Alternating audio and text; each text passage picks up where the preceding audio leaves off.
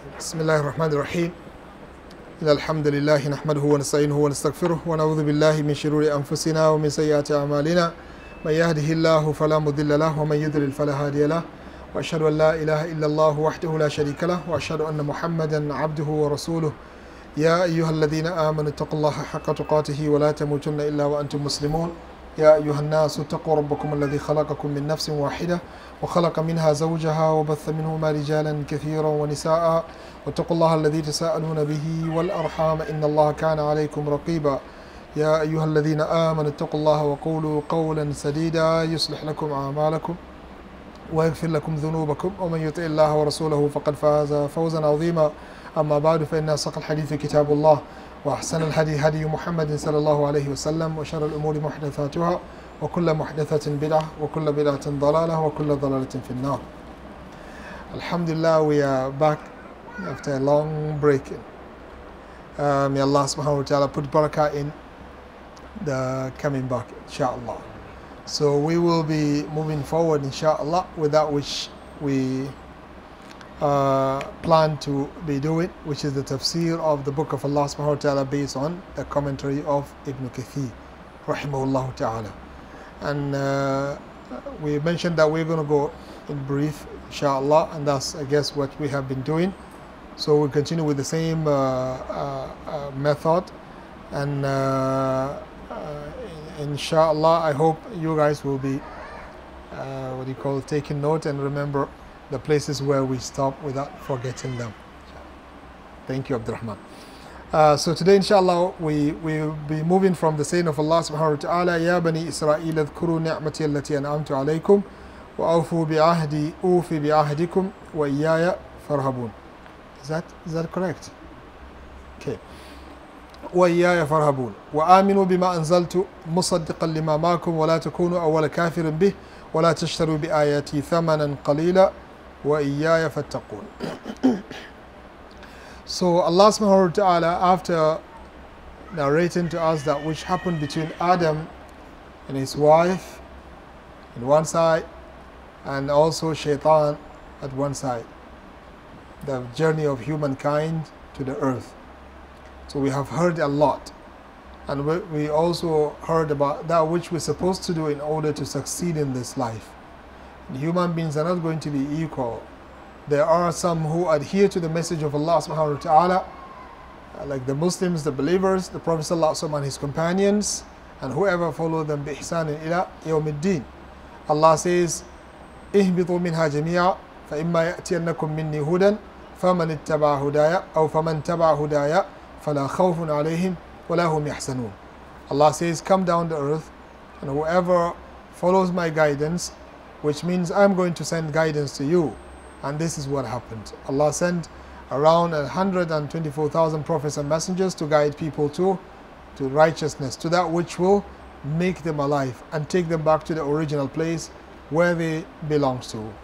Get it? We're not supposed to be here. Get it? The place which is the final destination is either paradise or hell. May Allah subhanahu wa ta'ala protect. So Allah subhanahu wa ta'ala mentioned that we send down uh, people and we commanded them to follow the guidance. So what is the guidance? The guidance is the wahi, the divine revelation that Allah subhanahu wa ta'ala revealed to his prophets, whoever they are. So everyone is supposed to be following that which Allah subhanahu wa ta'ala sent to him. Uh, then Allah subhanahu wa ta'ala after this mention, so he will talk about the Jew. And our topic today, we talk about them a lot. And Alhamdulillah, we're going to also be talking about them a lot. Because from now onward, almost until the end of Surah Al-Baqarah, around 49 pages, Allah SWT will be talking about the children of Israel. You get it? We'll be hearing about them from time to time. So sometimes we take a break and then we come back to them until the end of the surah. You get it? But now we're going to have a long journey with them. So what Allah subhanahu wa ta'ala did in this part of Surah Al-Baqarah is to remind the Jews about his blessings. Because sometimes if you remind a person about the favors that you have bestowed upon him, it might be a motivating factor for him to, to reflect and to do that which you want him to do. That's the reason why Allah subhanahu wa ta'ala is reminding them here. He says, يا بني إسرائيل اذكروا نعمتي التي أنعمت عليكم وأني ف... وأوفوا ب... آ... وأوفوا بعهدي أوفي بعهدكم وإياي فارهبوا ابن كثير says يقول الله تعالى آمرا بني إسرائيل بالدخول في الإسلام ومتابعة محمد صلى الله عليه وسلم أفضل الصلاة آ... والتسليم ومهيجا لهم بذكر أبيهم إسرائيل So Allah subhanahu wa ta'ala is now addressing the children of Israel, commanding them to get into religion of Allah subhanahu wa ta'ala, to accept Islam. Because that should be the, the, the, the, what do you call, the compensation of the favor of Allah ta'ala over them. He granted them, He granted them, He granted them. What will be the, the compensation? What will be the return? That they should get into the religion of Allah ta'ala collectively. But unfortunately they did not. That's why Allah ta'ala, out of love, He's reminding them that this is what you're supposed to be doing. So He commanded them to accept Islam and to follow the Prophet sallallahu alaihi wasallam. But how did He do that? Allah subhanahu wa ta'ala asked them through reminding them about their father. Who's their father? Israel. وهو نبي الله يعقوب. The Prophet of Allah subhanahu wa ta'ala, Yaqub, is the one that is called Israel. You get it? وهو نبي الله يعقوب عليه السلام وتقديره أيا بني العبد الصالح المطيع لله كونوا مثل أبيكم الله أكبر Actually, the meaning of what Allah subhanahu wa ta'ala is saying here is when He says, Ya Bani Israel, adhkuru ni'mati allati an'amtu Remember the favor of Allah subhanahu wa ta'ala over you, which should be the, the, the motivation for you to accept the religion of Allah subhanahu wa ta'ala. So what Allah subhanahu wa ta'ala is telling them here is, Ya Bani al-Abdus salih all the, all the children of al-Abdus salih a righteous slave of Allah subhanahu wa ta'ala, al-muti'i lillah, the one who always follows Allah subhanahu wa ta'ala, Kunu mithla abikum, be like your father. You get it? We do that also. كما نقول يا ابن الكريم افعل الكرم. You go to somebody, you're asking him for donation, he doesn't want to give, but his father is one of the most uh, kurama. The father is always giving in charity. When you approach that stingy person, you tell him what? Ya ibn al Oh, the son of the Karib, please get involved also in the charity. So you're reminding him about the attitude of his father. Maybe it will motivate him also to, to do the same thing as the father. You get it? And uh, also, you say, you say to the coward person, Yabna Shuja, Barizil Abtal or the son of the brave the person and the hero. Ya akhi don't be coward. You get it? So you remind him about who the father. You know, people used to be proud of their parent and they don't want to imitate them.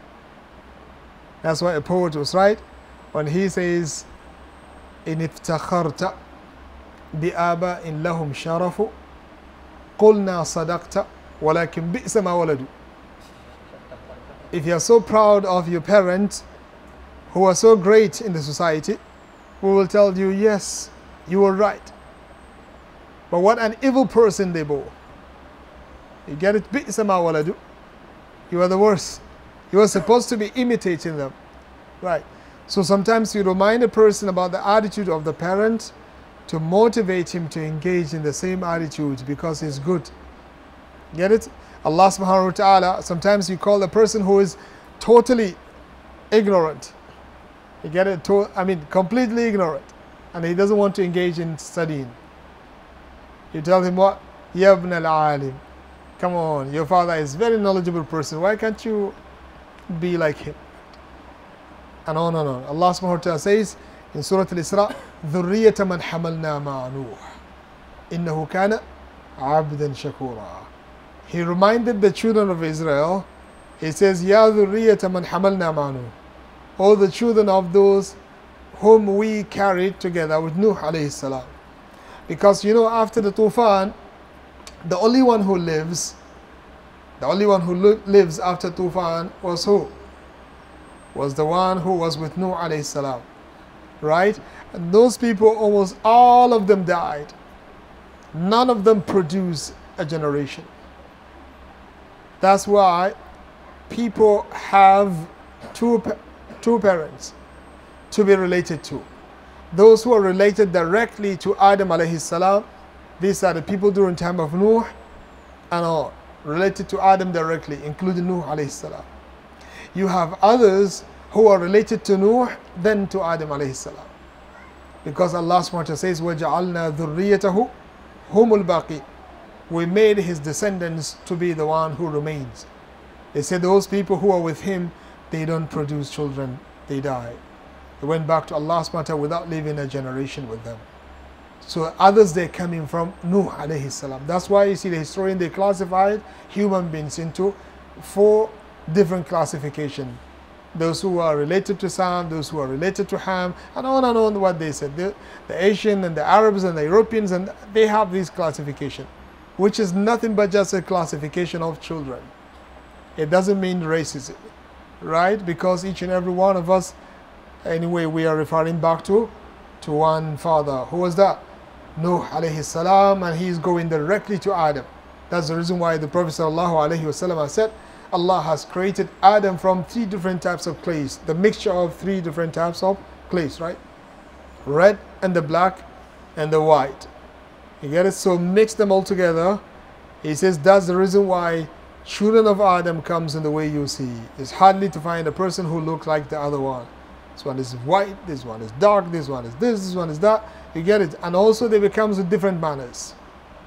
Look at people who are sitting and I mean next to us. Do we look alike? No. And when I say we look alike, I'm talking about the way we smile. Some of us don't smile. Of course, they smile from inside, but you, know, you get it? Always serious. Right.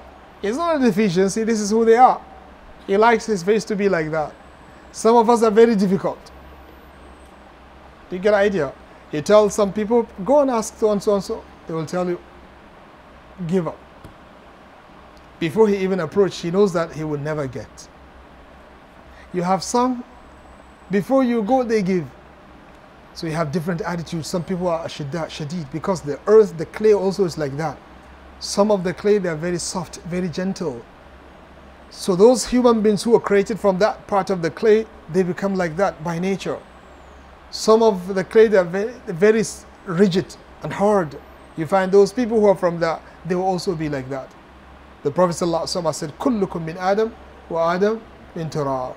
But each and every one of them, or every one of you, is from Adam, and Adam is from from the clay. So who is Israel? Israel is, is Yaqub. بدليل ما رواه أبو داود الطيالسي عن عبد الله بن عباس قال حاضرت عصابة من اليهود نبي الله فقال لهم هل تعلمون أن إسرائيل يعقوب؟ فقالوا اللهم نعم. فقال النبي صلى الله عليه وسلم اللهم اشهد. A group of people they came to the Prophet صلى الله عليه وسلم and they said and the Prophet صلى الله عليه وسلم told them these people they are from the Jew from the children of Israel. They went to the Prophet صلى الله عليه وسلم. So the Prophet صلى الله عليه وسلم asked them do you believe do you know can you testify that Israel is Yaqub they said yes Ya Muhammad and the Prophet صلى الله عليه وسلم said Allahumma shahad so the best opinion with no doubt Israel is who? Is Yaqub alayhi salam. وقوله تعالى اذكروا نعمتي التي أنعمت عليكم قال مجاهد نعمة الله التي أنعم بها عليهم فيما سمى وفيما سوى ذلك فجر لهم الحجر وأنزل عليهم المن والسلوى Mujahid, one of the greatest uh, uh, interpreters of the book of Allah subhanahu wa ta'ala, he said, this word, اذكروا نعمة الله عليكم remember the favor of Allah subhanahu wa ta'ala over you, it means you should remember all of the ni'mah of Allah subhanahu wa ta'ala, the one you know and the one you don't know, the one Allah mentioned to you and the one Allah subhanahu wa ta'ala did not remind you about that. Like what? Allah subhanahu wa ta'ala splits the ocean for them. You get it? They pass. Allah subhanahu wa ta'ala bring down the man wa salwa. Allah subhanahu wa ta'ala he saved them from the, the, the, the what you call the punishment of Fir'aun and on and on. And not only that, Allah subhanahu wa ta'ala, according to Abu Aliya, جَعَلَ فِيهِمُ الْأَنْبِيَاءَ وَالرُّسُلِ Allah made the prophets and the messengers from the children of Israel. Do you get it? The vast majority of the prophets that are mentioned to us, they are from, from the Yahud and Nasara. They are from them. That should be enough to be a motivating factor actually to, to push them up to worship Allah subhanahu wa ta'ala alone. But unfortunately, you are dealing with people of that kind. You get it? Having the prophecy in them, having the leadership. وَجَعْلَكُم مُلُوكًا وَآتَاكُم مَا لَمْ يُؤْتِ أَحَدًا مِنَ الْعَالَمِينَ Allah gave you the prophecy. He gave them the kingdom also. وَجَعَلْنَاهُمْ أَئِمَّةً يَهْدُونَ بِأَمْرِنَا لَمَّا صَبَرُوا Allah subhanahu wa ta'ala says. Allah, He made them leaders, guided by the commands of Allah subhanahu wa ta'ala when they were patient. وَكَانُوا بِآيَاتِنَا يُوقِنُونَ And they used to follow the religion of Allah subhanahu wa ta'ala. They used to listen to nothing but that which Allah subhanahu wa ta'ala wants. So they got all of these blessings and Allah subhanahu wa ta'ala gave them a book also. And on and on. And many, many things Allah subhanahu wa ta'ala has granted them. So that's why Musa used to tell them, اذكروا نعمة الله عليكم إذ جعل فيكم أنبياء وجعلكم ملوكا وآتاكم ما لم يؤت أحد من العالمين. When they were so wicked, and we are talking about uh, the, the, the Jew who claimed that they were with Musa alayhi salam. We're not talking about those people who did not accept Musa, and we're talking about those who are with Musa alayhi salam. But look at how they rejected him badly.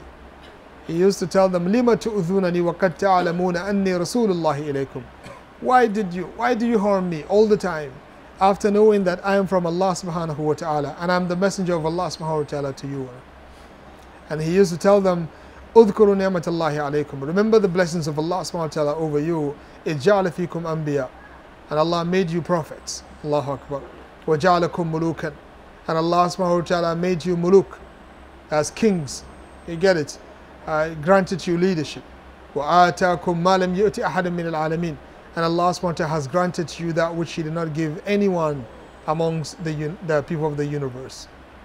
That should be more than enough to convince them that they shouldn't go against the law of Allah subhanahu wa ta'ala. قال وأوفوا بعهدي أوفي بعهدكم قال ابن عباس بعهد الذي أخذت في أعناقكم للنبي صلى الله عليه وسلم كذا جاءكم أنجز لكم ما وعدتكم بتصديقه واتباعه بوضع ما كان عليكم من الإسرار من الإسراء من الإسر والأغلال التي كانت في أعناقكم بذنوبكم التي كانت من أحداثكم الله أكبر Ibn Abbas says Allah subhanahu wa ta'ala says أوفوا بعهدي fulfill the promise and the agreement between me and you أوفي بعهدكم I'm going to also fulfill my promise for you Allah Akbar. Allah doesn't need that the Jew and whatsoever they have Allah subhanahu wa ta'ala can turn them upside down but look how lenient is Allah subhanahu wa ta'ala to those people. But still, they don't want to accept. I mean, Allah, does He need to tell them, do it and I will do mine? Doesn't need that. But just to help them to remind them to accept. Because I'm telling you, you're going to see, you would never see somebody like these, these people who disrespect Allah subhanahu wa ta'ala and show no recognition like them. And they know. They're not like the Christian who worship Allah subhanahu wa ta'ala out of ignorance they know what they're doing. They know. They know they're in the wrong direction, but still they, they follow. يعرفون نعمة الله ثم ينكرونها Allah subhanahu wa ta'ala says. So what does that mean? Abdullah ibn Abbas said, Allah subhanahu wa ta'ala is telling them here that it should fulfill your word. Fulfill the words and the agreement between you and Allah subhanahu wa ta'ala. What is the agreement? That if I send the last messenger of Allah you guys are going to accept. They promise. Get it? The last one they're going to listen to. You get idea? All the prophets were like that. The Jews, since they are closer to the Prophet wasallam, their promise is quite strong that if Muhammad comes, they are going to listen. What will be the result? What will be the reward for that? If they listen and they accept, then Allah subhanahu wa ta'ala is going to relieve them from their shackles and difficulties. Get it? وَالْأَغْلَالَ الَّتِي كَانَتْ عَلَيْهِمْ That's what he mentioned in Surah, Surah Al-A'raf. Abu al-Aliya said, عهد الله إليهم دينه الإسلام وأن يتبعوا The promise, the covenant between them and Allah subhanahu is to accept Islam and to follow the Prophet sallallahu alayhi wasallam, just like the statement of Abdullah ibn Abbas, that Allah will relieve them from the difficulties. You know, you're going to see inshallah I'm going to qualify this statement and this part of the history, inshallah, through the Quran itself. You yourself, you will say, yeah, definitely they deserve. They deserve. Right. But all of those difficulties, by the arrival of the Prophet ﷺ, they were supposed to get relief from them. But they don't want to accept.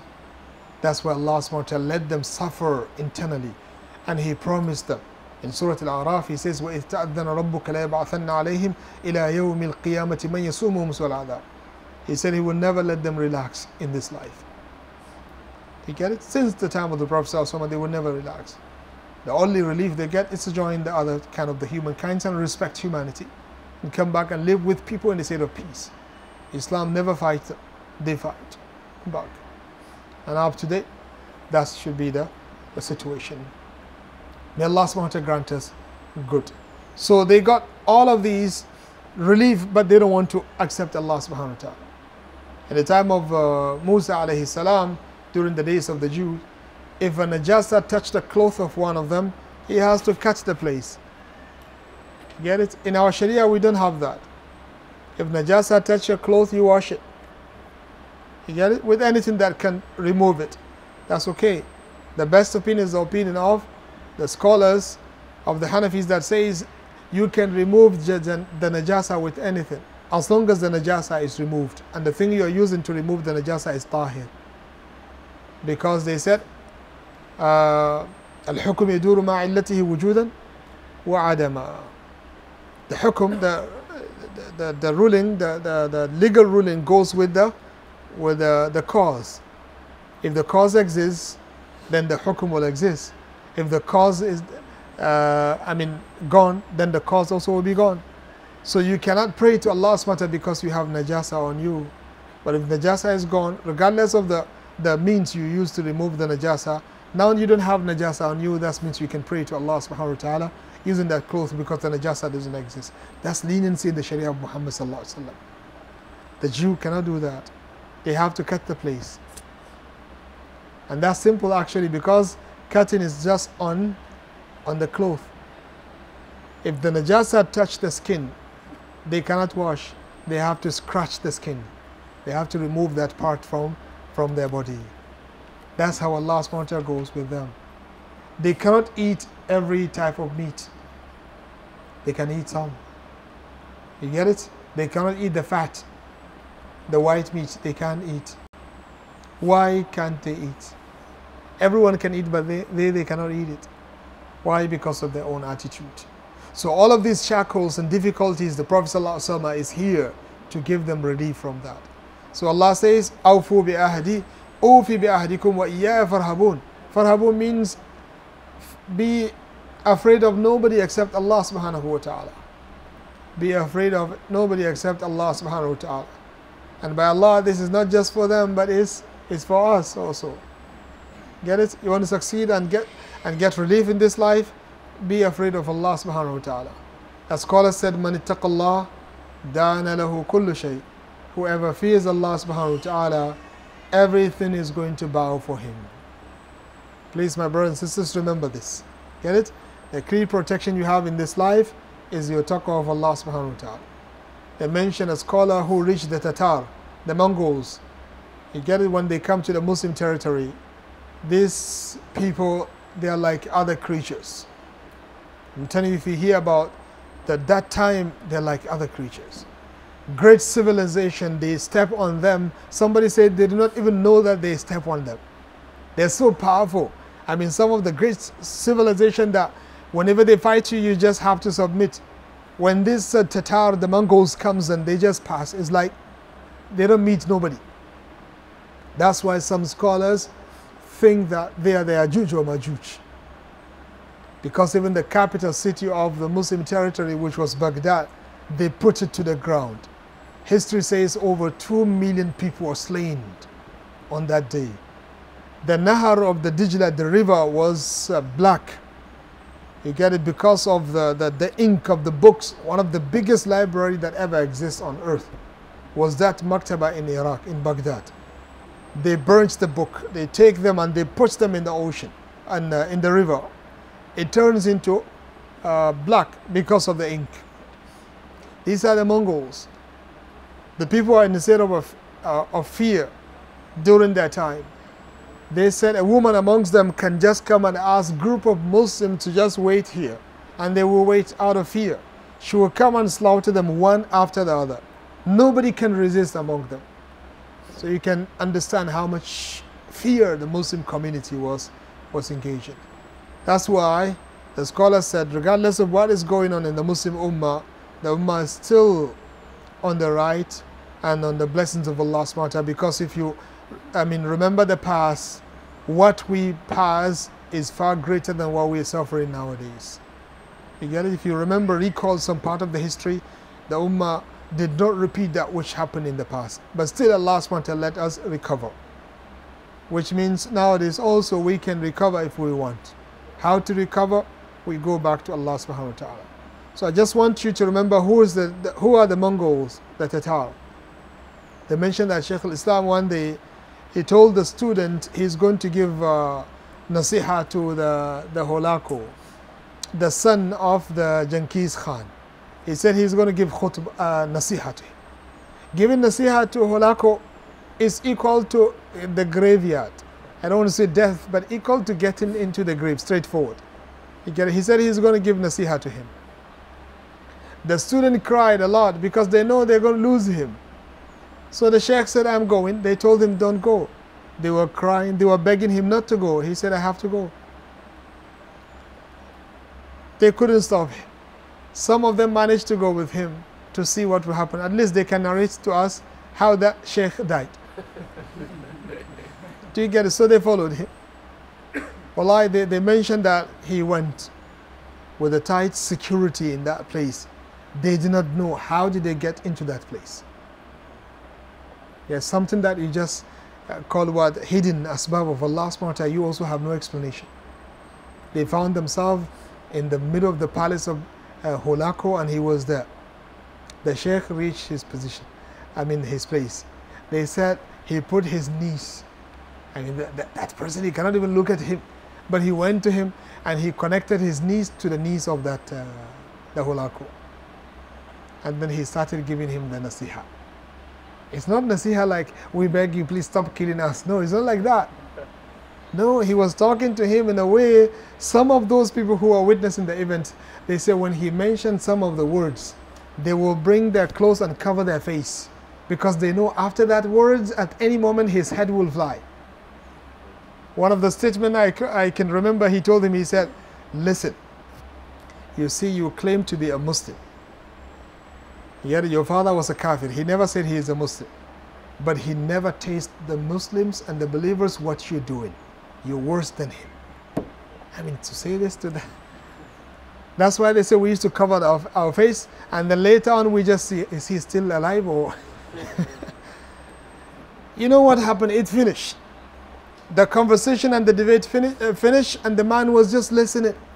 Couldn't do anything. After he finished, he said, Sheikh, what do you want now? He said, I want you to release all the Muslims you captured, not just these ones. No, every Muslim you captured, you have to release him. He said, Done. And he released them all. And he let the sheikh go back.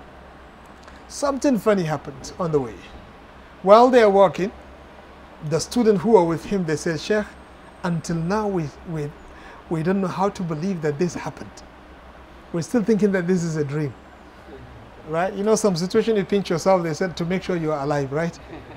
You're not sleeping. They said, Sheikh, we don't believe that this happened, and also we still believe that there is a trick here. The man is just trying to plant an ambush for you, but he will get you on the way. They said, Sheikh, with all due respect, Oh, would you allow us to use another way? You use this way, but we're going to. so they, the Sheikh looked at them and told, told them, okay, go, go ahead. I will go from the way I came. And Sha'Allah, they were intercepted by the thieves. They got them, they robbed them, and he reached the home peacefully. Man ittaqallah dana lahu kullu shay. You fear Allah subhanahu wa ta'ala, everything is going to bow for you. You get you cannot be with Allah and get defeated at the same time. It doesn't go. Allah says, كتب الله لأغلبن أنا ورسلي one of them was having a debate with the magician magician and he used to tell them uh, when they were there in the presence of the king the king brought them the sheikh and the magician to come and debate to see who will be the strongest so he told them come because what they used to do they cheat they go and put the oil of the frogs or something that will prevent them from getting affected by the fire and they get into the fire for a while and come out of it nothing happened to them so the sheikh told them first of all go wash yourself with salt to remove the oil first and then come back for the debate they came he said light of fire they brought the fire he said قم بنا ندخل النار فمن احترق فعليه لعنة الله he said, let's both get into the fire and whoever get burnt, may Allah ta'ala curse him. They refused to go. Do you get it? They lost the debate and the king brought him very close. The student asked him afterward, they said, Sheikh, but honestly speaking, these guys, they use jinn. And they use this, they use that. If they get into the fire, nothing, I mean, there is nothing will happen to them. But you, you don't have any of this. Isn't it a suicide? You go to the fire. You know what he told them? He says, No. Wallahi, I believe that nothing will happen to me. He said, How are you so sure about that? He said, Because I know Allah will never disappoint me. He said, Last night I have been praying to Allah subhanahu begging Allah subhanahu to support me in this event. So I come with yaqeen that I have to win. And if they go, I will go. And I do believe 100% is going to be like Ibrahim's fire to me. That's the yaqeen that Allah subhanahu wa ta'ala is giving some of the righteous people. But I just want you to have this in mind. If you fear Allah in this life, Allah will give you tranquility and protection.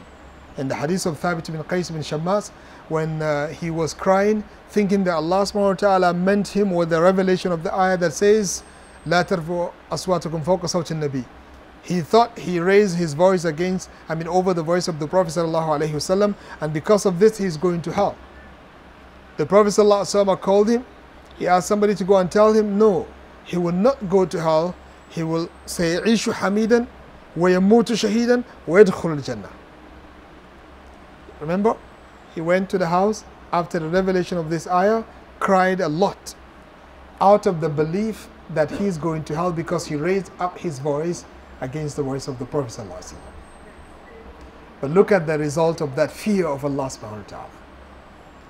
The Prophet said, Go to him and tell him, no, he will not go to hell, but he will live a very successful life and he will be killed as a shaheed. Successful life, shahada, and Jannah with confirmation of Jannah. Not just shaheed, but he will go to Jannah. You know what the scholar said?